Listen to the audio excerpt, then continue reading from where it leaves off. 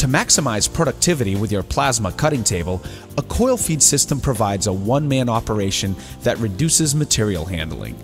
Instead of storing sheets on a rack, then moving to the table, coil stations are there ready to feed your plasma table. Plus, it offers a smaller footprint, thereby saving valuable shop floor space. There are additional advantages to a coil feed system. Scrap is reduced by allowing you to cut only what you need. Per pound steel costs are less, particularly when using 14, 16, and 18 gauge steel.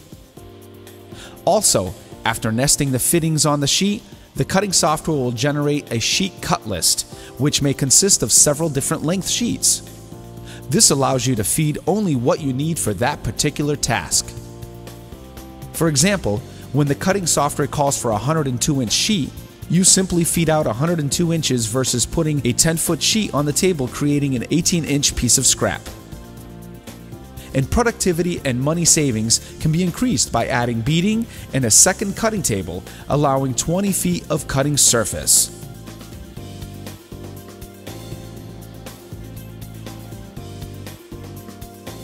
The Plasma Coil Feed